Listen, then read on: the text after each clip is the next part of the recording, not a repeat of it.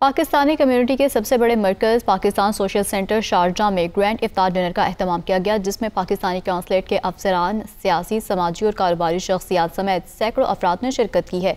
इसी हवाले से मजीद तफसीत बताएँगे अब्दुलरहमान रजा अपनी इस रिपोर्ट में।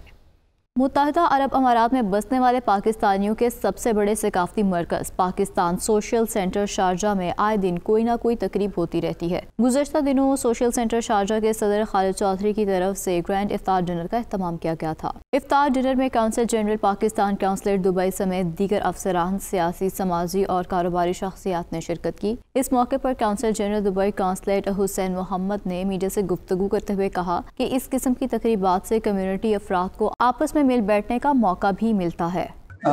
थैंक यू वेरी मच आज uh, मैं बड़ा शुक्रगुजार हूँ पाकिस्तानी कम्युनिटी का स्पेशली खालिद चौधरी साहब का।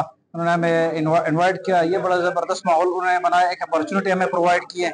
मैं आपको बताऊँ कि पे मैं जब मैं पहले यहाँ से आज मैंने 2011 में इधर पोस्टेड था तो कम्युनिटी सेंटर के साथ मैंने बड़े अच्छे रवाबित थे और मैं यहाँ काउंसलर ड्यूटी अपना उसके लिए आता था वीकली या सेकंड वीकली तो आज जो है ना, वो यादें भी हमने ताज़ा किया this is the first time I come to Sharjah centre और अल्हम्दुलिल्लाह कम्युनिटी हमारी, मैं अब जब कंपेयर करता हूँ उस टाइम के साथ और अब, अभी बड़ी कम्युनिटी है हमारी, बड़ी जो है ना, उनके आपस में रवाबित बड़े स्ट्रेंथन हो गए हैं कोऑर्डिनेशन हो गई है लोगों का अवेयरनेस है कि हमारे कम्युनिटी में बहुत पोटेंशियल है। तो आहिस्ता आहिस्ता उन्होंने इस रियलाइजेशन को लेके आगे जाना है।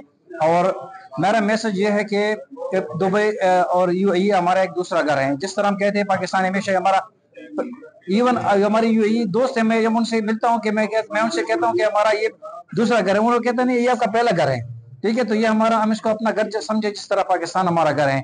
पाकिस्तान सोशल सेंटर शारजो के सदर खालिद हुसैन चौधरी का कहना था कि रमज़ान मुबारक के बाबरकत माह में पाकिस्तान की तरक्की के लिए दुआ गो है। बिस्मिल्लाह सबसे पहले तो मैं रमज़ान मुबारक के बाबरकत महीने में सबको रमज़ान करीम कहूँगा, रमज़ान की मुबारकबाद पेश करूँगा।